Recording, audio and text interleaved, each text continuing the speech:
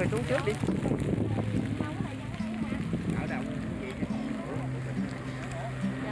Em đi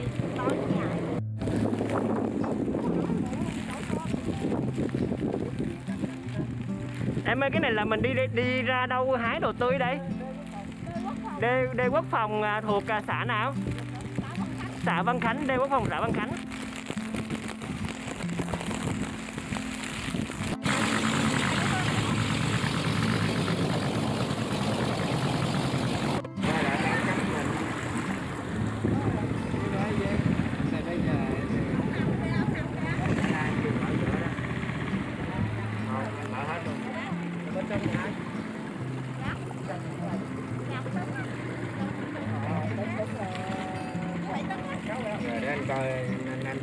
Biển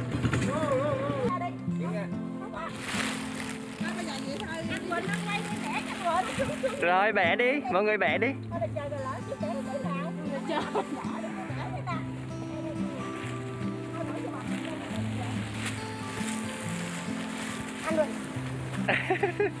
trái này là khoảng bao, bao ký ta cái này là tầm khoảng 500 gram. 500 gram đúng không?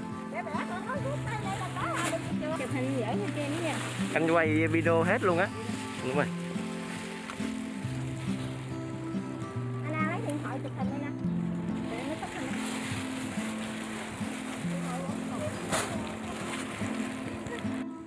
Được cái đội quay đi nói là trời ơi tàn rồi quay cái gì mà quay? Cái này là mình thu hoạch là lần thứ mấy rồi cô? Không mình để hoài hoài gì đó tức là mình bẻ liên tục liên tục hả? Hai ngày để ừ, ừ, không bữa bí đau cái bầu thì bữa nào cũng cắt hết trơn á. À mình mới đem bữa. Dạ.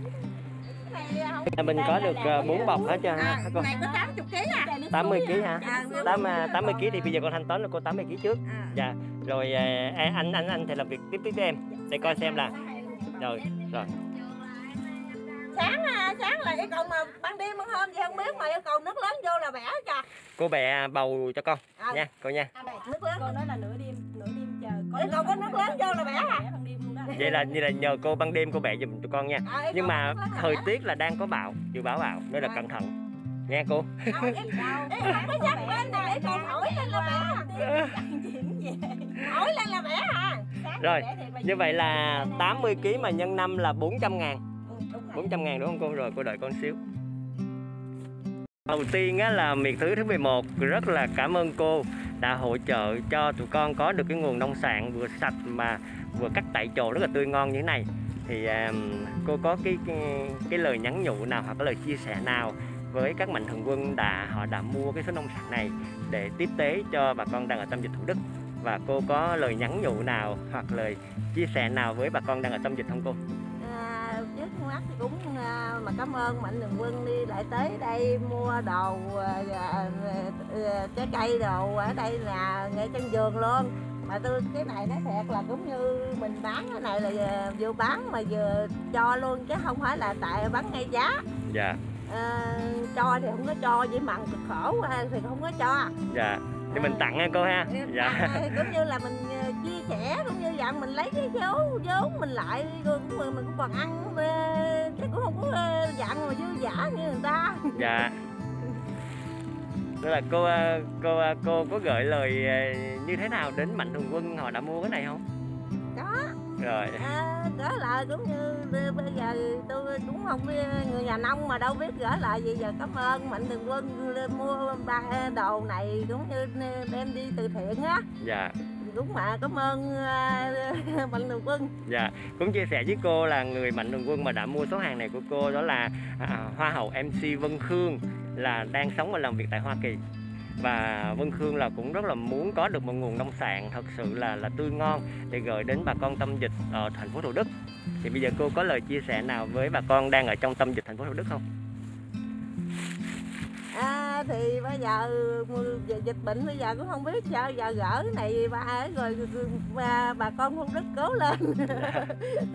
Chứ bây giờ thì cũng như không biết làm sao bây giờ gắng cố lên cố lên lăn ngắn lên như dòng họ tôi cũng bây giờ nó cũng nằm về bình dương chứ thành phố cũng dữ lắm.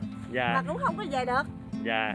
Có chừng cái này không biết có đi tới chảnh không đôi, đôi khi lắm khi có gỡ tới dòng họ tôi không chừng nữa. Dạ, dạ. cảm ơn cô. À, cảm ơn cô rất là nhiều. Chúc cô có nhiều sức khỏe và nhớ gì sức khỏe nha cô.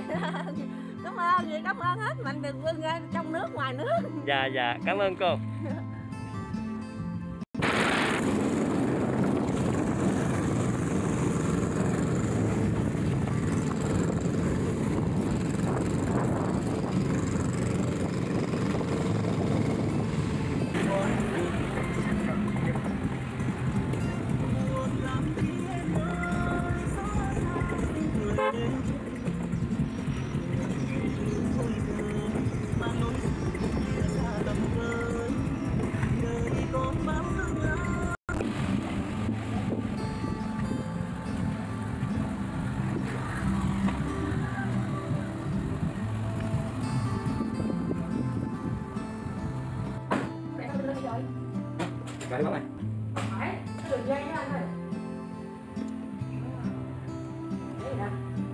bầu bầu với bí đao với bí mới mua ngày hôm nay luôn.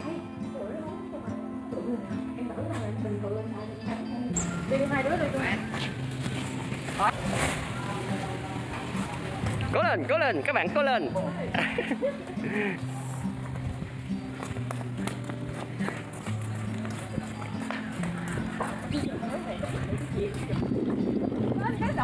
Rất rồi.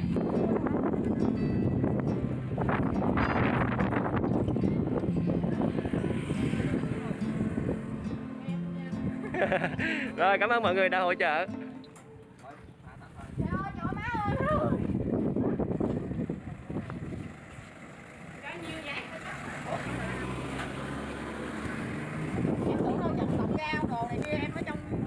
Vậy hả rau còn nhiều lắm hả rau mồng tơi rau này rau kia nhiều lắm. Bây giờ để anh ờ, liên lạc với bên ờ, bên mặt trận tổ quốc ờ, trên thủ đức á để coi xem là là nếu mà rau vận chuyển như thế nào mà được á thì mình làm việc với nhau nha. Hỗ trợ bà con nha.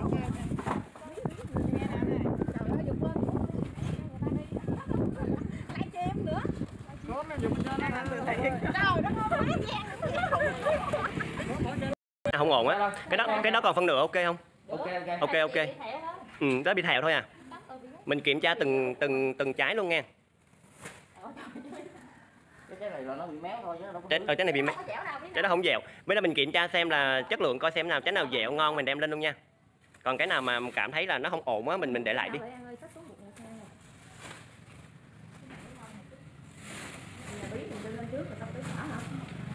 Xả dưới nữa. Không xả này để dày mặt tươi nữa nè. Đúng ra là xả này để dưới luôn.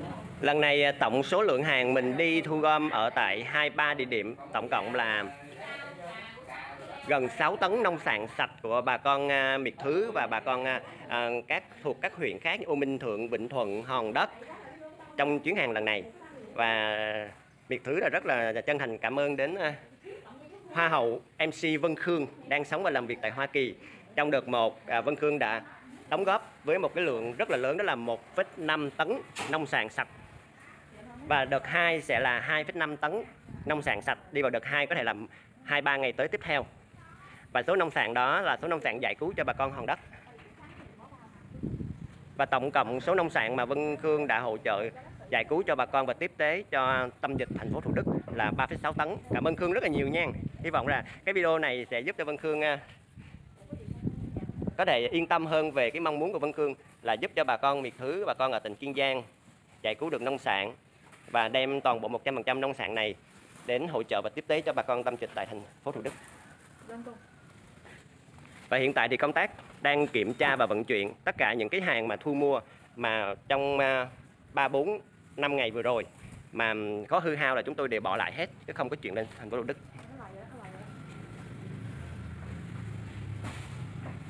Cái trái đó là bao nhiêu ký em? Cái trái bự đó. Chị chị chị đi, 5 ký không chị đi? Tại mấy cân mình không có cân. Chị Ni chị Ni chia sẻ là hiện tại giờ bà con miệt hứa mình á là bây giờ là, là sắp tới là mình có được à, bí đao với bầu mình sẽ thu hoạch không chị?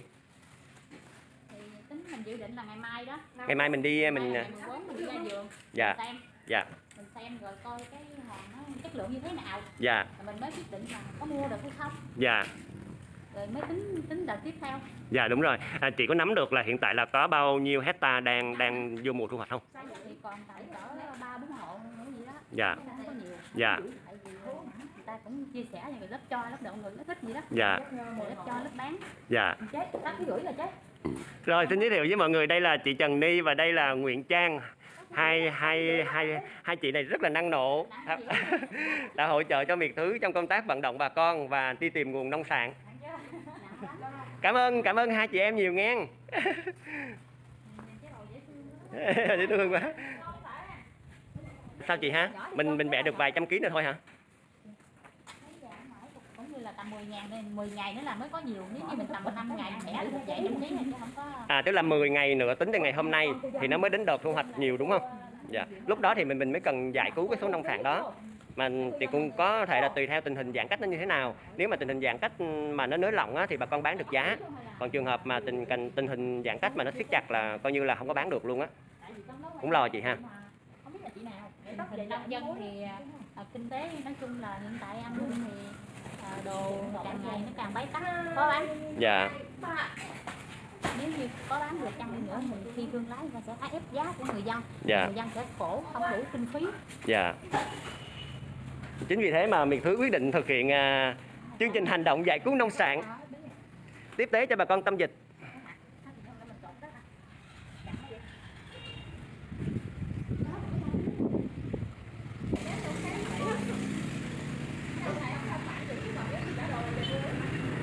à có dây này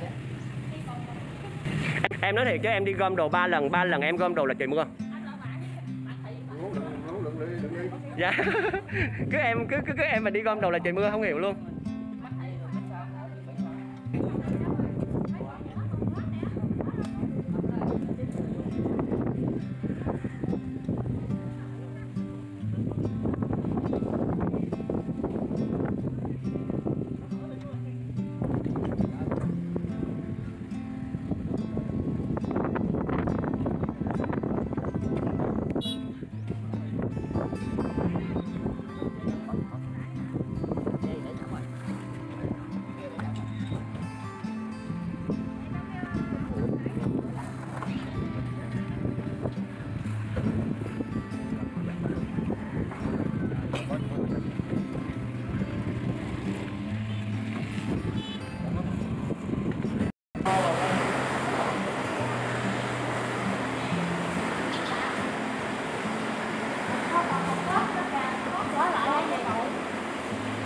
Không? Cái đó của em.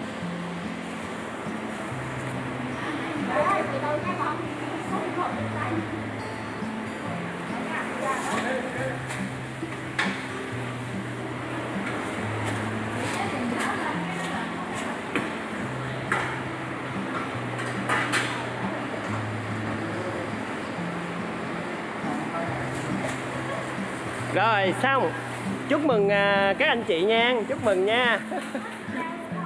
Hết chưa leo luôn.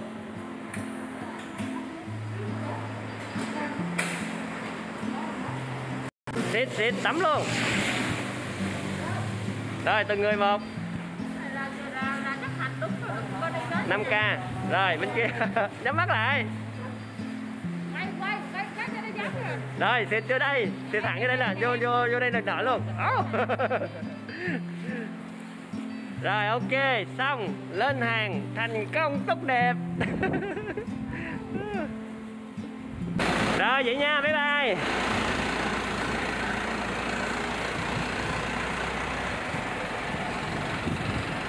Xe chúng ta sẽ đi đến trạm đầu tiên là thành phố Cần Thơ. Từ thành phố Cần Thơ chúng ta sẽ lên hàng, đi thành phố Thủ Đức trong tối ngày hôm nay.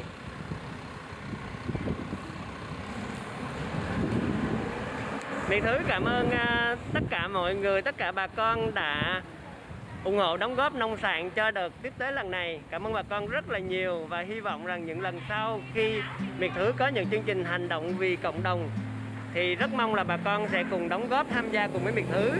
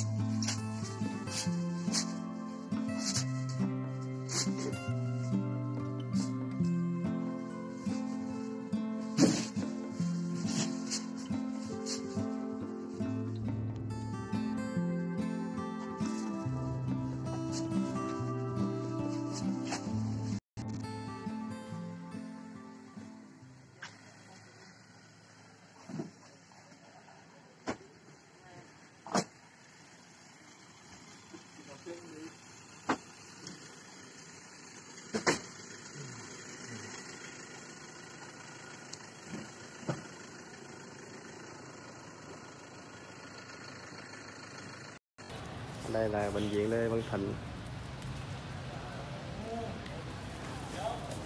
Đây là bên, à, bên công đoàn anh lấy xuống. Cái quà này là quà của mà, dưới miệt miệt thước kiên giang anh phải quay à, quay phóng sự để gửi cho bà con với bà con biết.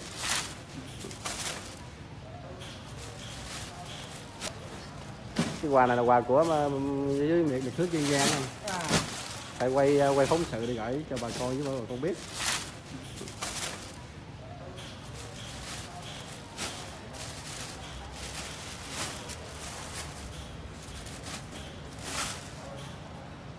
Hai chuyến. Anh à, à, anh bỏ xuống đi bỏ bỏ xuống đi là kéo sao em bỏ xuống hết xong kéo sao cho anh đi anh lại là anh kéo sao cũng được. Thế đi luôn hả? Ờ về còn ăn nữa anh. Sáng giờ đi đâu về tới nhà đâu. Cơm chưa? Chưa cơm hả? Chưa. Có cơm nè còn cơm nữa. Thôi nhà ăn cho nó an toàn